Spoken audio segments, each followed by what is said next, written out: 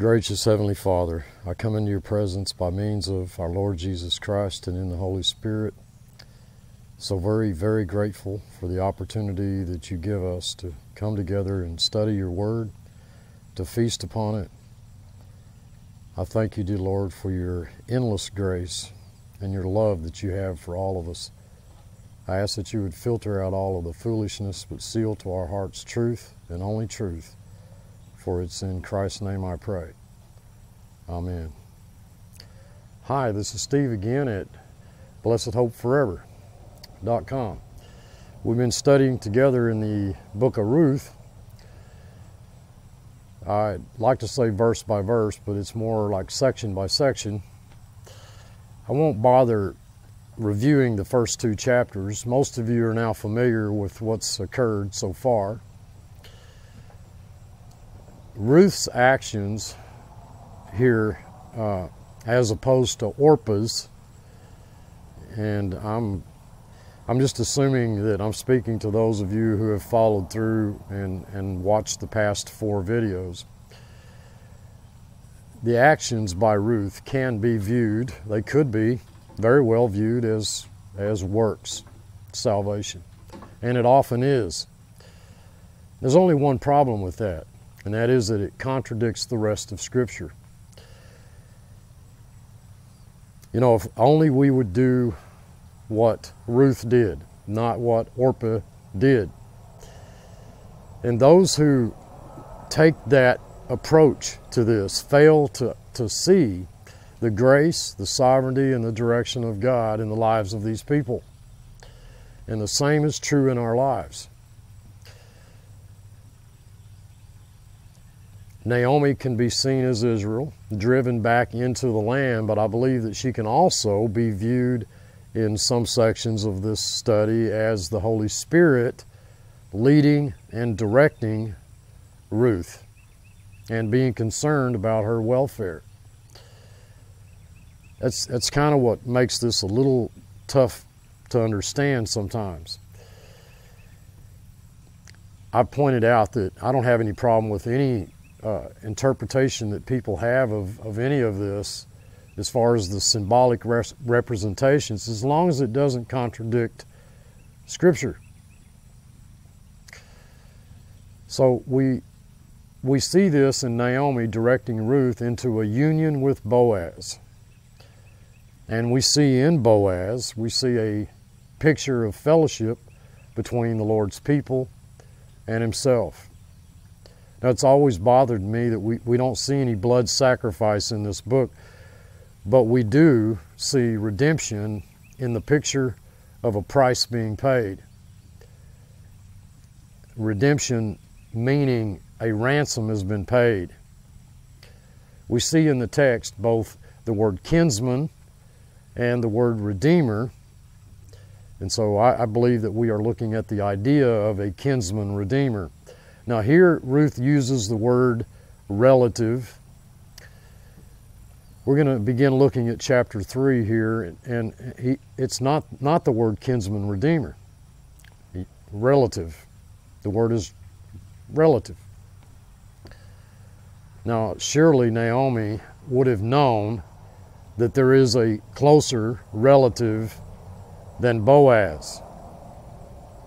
You know, the question in my mind was as well as, as I'm sure in many others, is why didn't she send Ruth to this closer relative to begin with?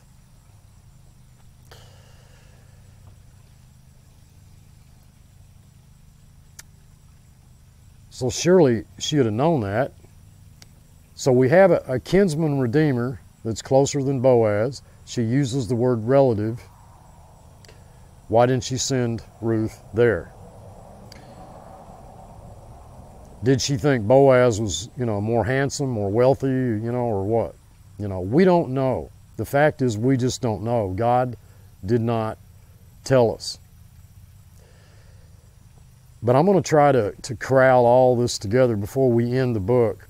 We do know because we can read ahead that there is another another kinsman redeemer. And that's bothered a lot of people down, I'm sure, down through the centuries who have studied the book of Ruth. She says, that uh, Boaz is a relative, but there's a closer relative.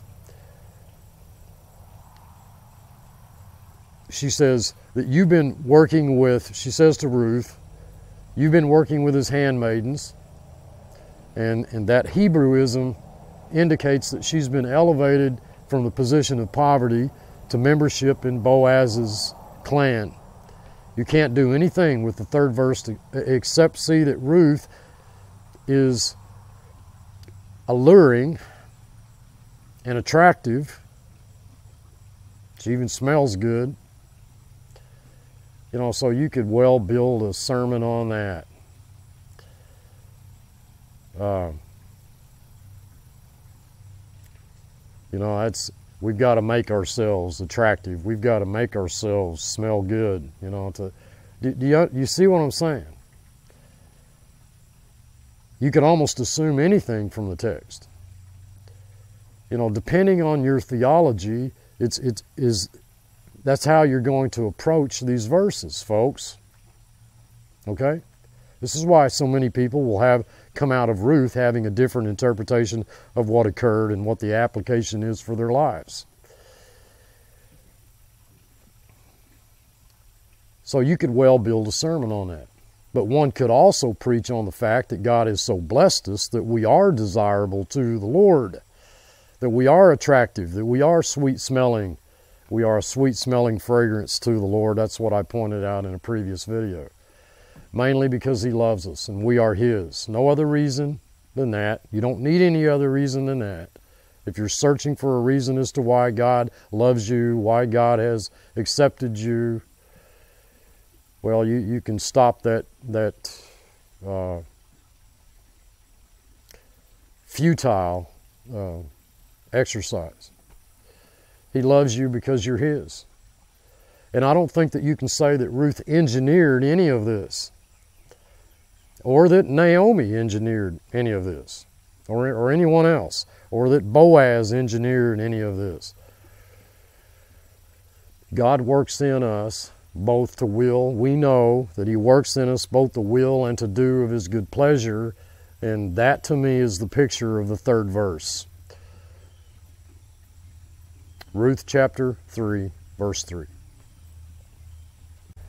So now we see Ruth arriving at the at the, the floor, the winnowing floor, making sure that she's not known. Watching where Boaz lies down after doing what Naomi said for her to do, following through on Naomi's instructions, where Boaz lies down after eating and drinking because, you know, by now he's tired. And some go to great lengths here explaining how that what Boaz drank, well, it could not have been alcoholic, but but I mean, you know, they didn't have refrigerators back then. They didn't have freezers back then. If if it was grape juice, I guarantee you, you it wasn't grape juice for very long. And the text says that he was happy, and he's going to lie down in a deep sleep. And she's to mark very carefully where that is. She's to mark, get this, Ruth is to take note of where he lies down. Now, I don't think I'm pushing the text by suggesting that we are to take note, okay, of the crucifixion of Christ here. I pointed out that I believe that that deep sleep, that darkness, and and Boaz going to sleep was a picture of our Lord's crucifixion, and Ruth is, well, she's to mark very carefully where that is. It is the Holy Spirit who is directing Ruth to Christ. It isn't Ruth who comes to Christ. She's to uncover his feet and lie down. That is, rest. Okay, rest. And he will tell her what she is to do, says Naomi, which I, I believe here is a picture of the Holy Spirit. The Holy Spirit, okay, tells me and you to come and rest, okay, in Christ. And the Holy Spirit will tell us what we're to do. And there's all kinds of arguments and questions about verse 4. You know, how much of his feet did she uncover? How close did she lie next to him? You know, all of which the text does not answer. What I will suggest about this is that the Holy Spirit has left that unanswered, and that I believe for very good reasons. One, I believe, being that our intimacy with Christ is very, very personal. You have a name written that no one knows but the Lord. If you were, you know, if you if you were young, if you are young, you know, and you don't know very much, and you're looking for answers about romance, and, and you came asking me intimate questions about me and my wife, I wouldn't answer any of them. You know, for several reasons. One being that when it comes to understanding women, I don't really know very much, but another being that, but that's between me and my wife. It's personal. I believe that that is an intimate relationship that a couple learns together. And so that's why I think that the Holy Spirit has purposely, intentionally left this blank. However, we'll see in the text that Ruth did propose marriage. I believe she proposed marriage. The word there, afraid, means to quake about, to be startled, to tremble. So it could be that she uncovered his feet to gently awake him, or that he was afraid. But I have to admit that the expression is used of intimate relations between a man and a woman. And she's to lay down there, and he'll tell you what to do. Now, how can Naomi know that? How could you have known that? How does she know uh, that, that he isn't going to just tell her to get lost or any other number of things? And again, I believe this is not Ruth engineering this, but that Naomi here is a type of the Holy Spirit directing her to Boaz. He will tell you what to do. There's no question about it. It isn't that well he might do that or we we you know or we hope he does. And Ruth said to Naomi, All that thou sayest unto me I will do. And the word sayest is the Hebrew word for command. All that you command me to do, I will do. I will do. I believe that's a picture of the new creation, the sinless new creation. I'll just throw that out there.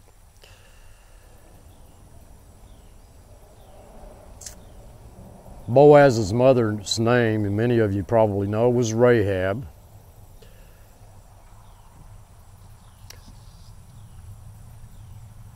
You know, do you suppose Naomi knew that? I don't know. We have we have another interesting genealogy at the end of this book.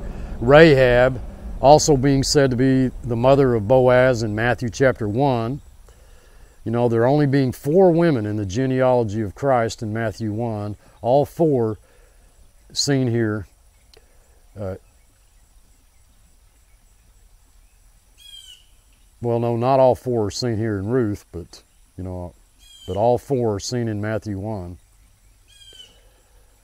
All four of them being Gentile. Now, I believe there's more than just history here. There's design, the, the interweaving of the Jew and the Greek, you know, the Gentile and the Jew. Boaz is our relative. And all that you command me to do, I'll do. And I believe that's a picture of the new creation. A good argument for this being more of a picture of fellowship than a picture of redemption. She went down to the floor, verse 6, and did all according to, uh, you know, all. That word according did exactly all that her mother in law told her to do. I have to look. I have to see that as as you know the sinless new creation because that's what the new man does. the new man cannot sin. You know, and many of you out there who are familiar with the Greek, and I know we're looking at Hebrew here, but you know, the Greek, which applies to us uh, more particularly, you know, there's there's the word practice in the New Testament. Practice, that's the word prasso. Okay? And then there's the word poieo, do. I tend to look at practice as the word practice is referring to all the flesh, the old man, the works of the flesh, whereas poieo, do, has more to do with the new man. In, in our conflict between flesh and spirit, you know, I believe we often mar the image of the spirit. The new man cannot sin, says John.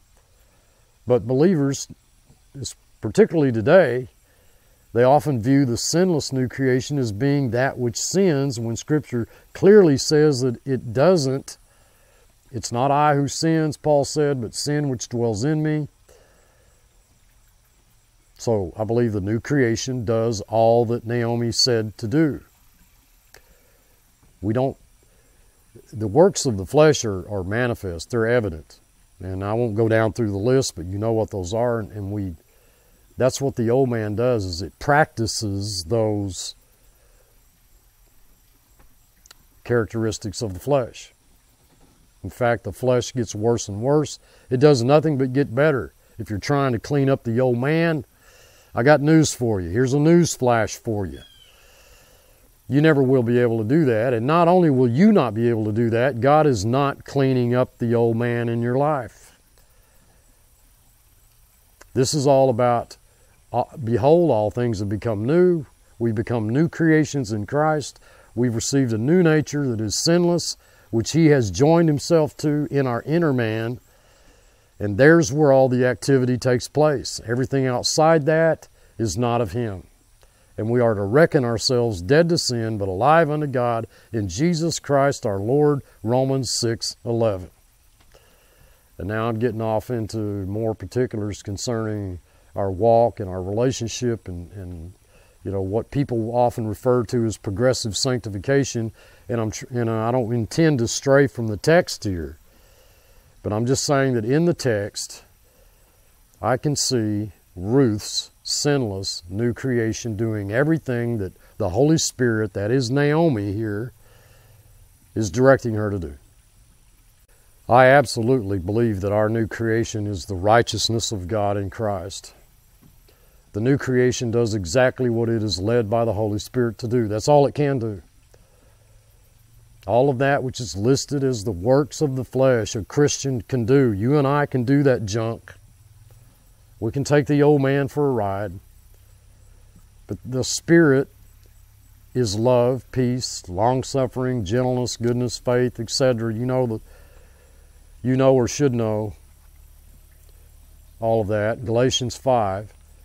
But I don't believe that we do, do, do the works of the flesh. It's the fruit of the Spirit. And I've talked about this difference in many videos. It's the works of the flesh that is manifest, but it's the fruit of the Spirit that is manifest in and through our lives by our Lord Jesus Christ as He lives His life in and through our life. The Spirit works in me, both the will and to do of His good pleasure. And so Ruth did. And so when Boaz was drunk, I don't think you can do anything else with the text, folks. And merry, happy, which, which result you would expect, he went to lie down in a heap of grain, and she came softly and uncovered his feet and lied down. And that's the end of the paragraph.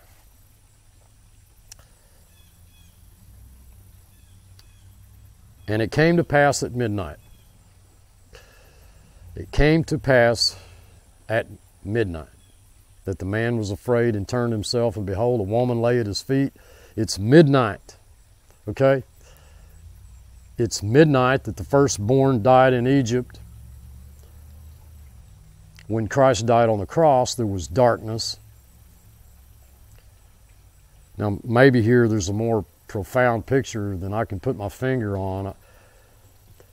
As I pointed out, I don't see a blood sacrifice in the book of Ruth, but, but that redemption is also in the paying of a price. Midnight, that's also uh, that's also when the bridegroom comes in Matthew 25 at midnight. And there's there must be some reason. Well, there there has to be some reason. Obviously, there's some reason that that's put in the text. That the Hebrew says Boaz trembled could mean he was frightened. I think it's pushing it too far to see that fear is our Lord's agony in the garden. It's hard not to see judgment in the word midnight. If you look at all the, the other references to midnight, the condemnation of, of the firstborn in Egypt, condemnation when the bridegroom comes. I mean, I, and I well, I but then I also have to admit that on the on the other hand, condemnation also acknowledges the matter of deliverance. You can't separate the two. So Boaz turns himself, reached around, reached forward. There are both good translations. And behold, wow, a woman laid at his feet. Now, how did he know that? It's midnight, it's dark. You know, whatever fire they had has probably gone out by now. And he said, Who art thou? Who art thou? he said to Ruth, Listen, who art thou? Now, if we look at Boaz is a picture of Christ and Ruth is a, as a picture of the church, which I believe that we're able to do here, then you, you could you could look at that as Christ asking you and I, who are we? It's kind of it reminds me of of God in the Garden of Eden where he, he asked Adam, Where art thou? Now, do you honestly believe that, that, that God asked Adam, Where are you? because he didn't know where he was? Of course, of course God knew where Adam was. And I, and I pointed out how that uh, it, it's, it, it's at least my understanding that the reason that, that, that God and, and I, I guess I'm getting off on a rabbit trail, and I really don't want to do that here. It's not that God did not know where Adam was, but it was the, the original Adam, the, the, the Adam that had not sinned. God is pointing out here, he's gone. There's a there's a there's a, there's now a new Adam that had sinned against God. God no longer saw Adam in the same light as he had before. But, but he asks Adam, Where are you? And, and there's no doubt, and there shouldn't be any doubt in any of our minds that God knew where Adam was. Boaz representing Christ, Ruth representing the church. We have Boaz asking Ruth, Who art thou? Does God know who we are? Well, of course He does. The question is, is do we? That's the question. So how do we answer that? I believe Boaz knew. It's just my own person. I don't ask anyone to agree with me. I, I, I believe that Boaz knew more than what the text is suggesting. I'm going to suggest two possibilities. One is the scent. She smelled pretty. That's, you know, that's sure no man laying there. You know, that's one possibility. We have scripture that says we are a sweet smelling fragrance, an odor to Christ. You know, I, that I smell good to the Lord. Uh, you know, I can't imagine that, but that's what he says. Another possibility being that he knew that it was a woman because of her shape, her size, the, the position in which she was laying, you know, what she was wearing, you know, etc. But bear in mind, it was quite dark. Whatever the case, He was astounded. If we consider the word uh, behold, I think in your text it'll say behold. He was astounded. He was astounded that a woman lied, lay, had laid down at his feet. And many scholars suggest Boaz was 80 and Ruth was 40. I don't uh, know if that's true or not. It's, it's a commonly held consensus among most scholars that those are the age differences. And without getting into the, the meaning of the numbers, uh, if you want to look into that, I think there's, there's some, a lot that's pretty interesting about that 80 and 40. 40 being representing a period of testing, 80 representing something much more interesting here.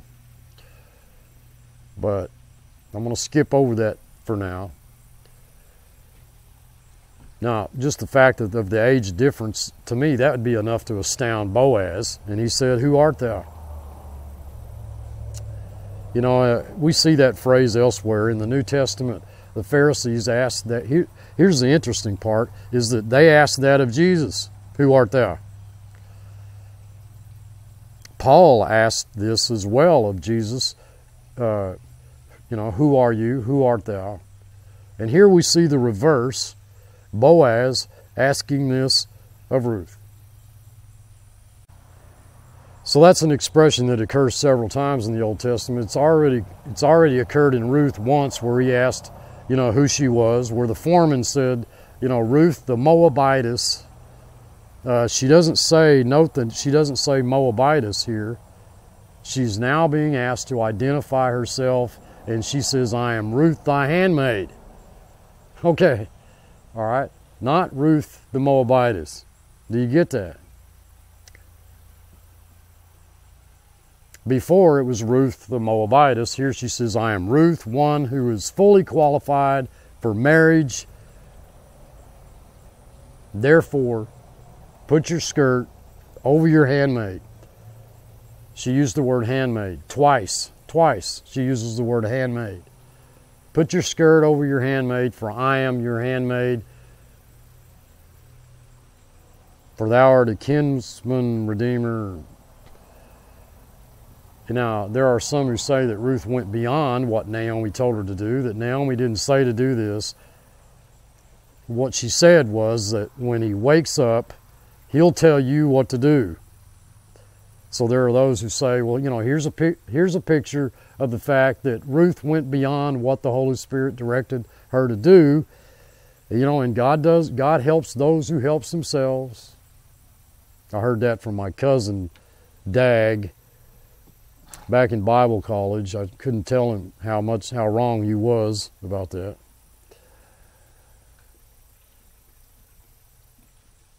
Naomi didn't tell her to do this. Or did she? You know, I mean, I'm not sure. Naomi didn't tell her to do this. I don't know.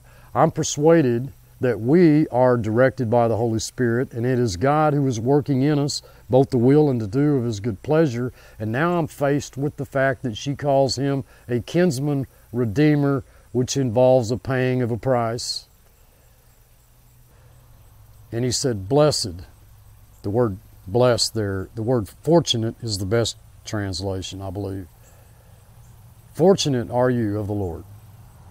Fortunate are you, my daughter, and now we're getting more intimate. Much more intimate. So they're becoming closer, and Boaz says, For thou hast showed more kindness in the latter end than at the beginning. More kindness now than before. To me, that to me that's saying, You're giving up all these handsome young guys for me. You know, regardless of whether they're rich or poor, regardless of who they are, and you are not following them. You're not following them. Just give some thought to the word there follow. Because that's what the verse says. Now, the inference is clearly that there's nothing more attractive to Ruth than Boaz. You can't see anything other than that. That's why I have to see this as the new creation. It's the flesh that lusts after worldly desires. And, and remember, Boaz, however old he is, he's got to be old.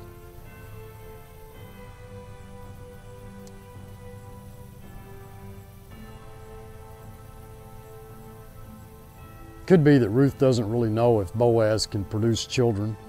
You know, why would Ruth desire Boaz?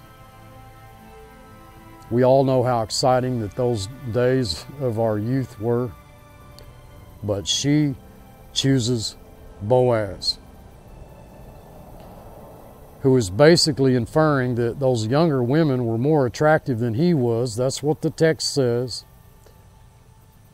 And so I have to come to, to the conclusion that it is, we're looking at the direction of the Holy Spirit that makes Boaz attractive to Ruth.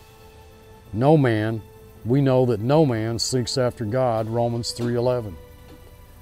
The text says, Ruth did not follow that which would be naturally attractive to her. And so he calls her again his daughter. And now, my daughter, don't be afraid, which reminds me a lot of let not your heart be troubled. Peace, my peace I give unto you, not as the world gives. I, our Lord said, I will do to thee all that's necessary.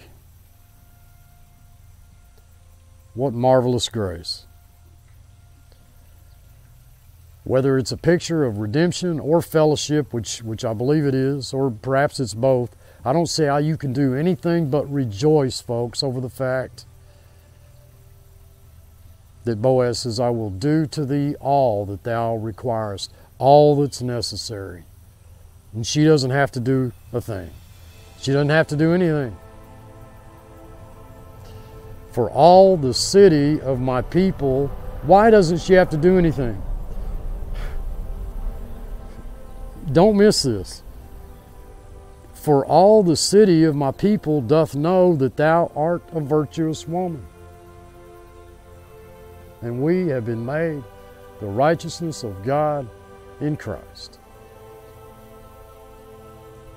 And my heart aches, folks, for the millions upon millions of believers who don't know that.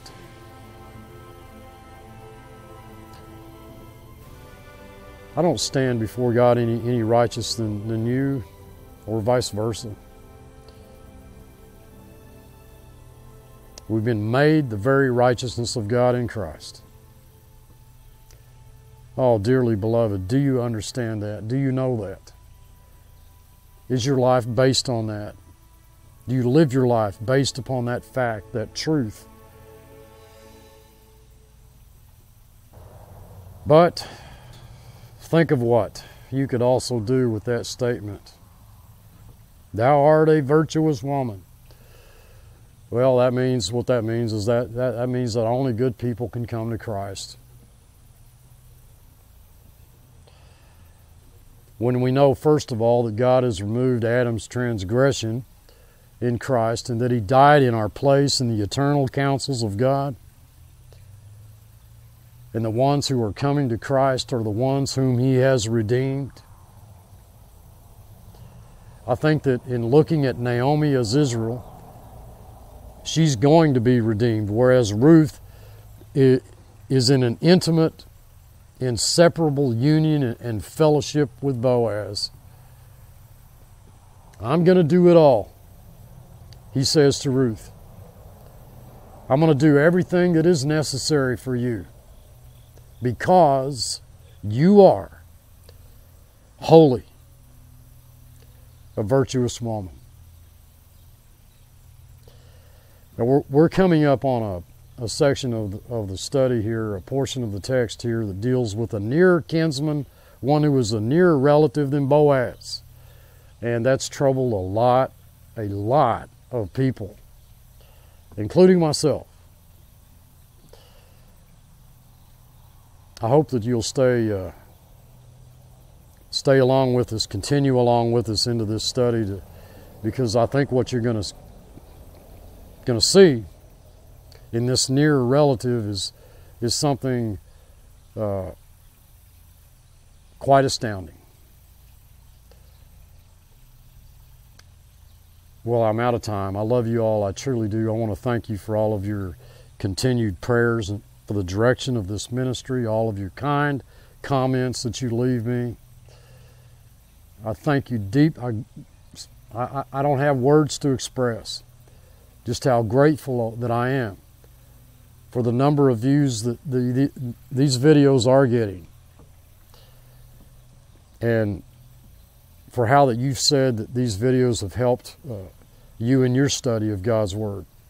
I thank you for all of your love, your kindness, your words of encouragement, your support. Until next time, stay safe.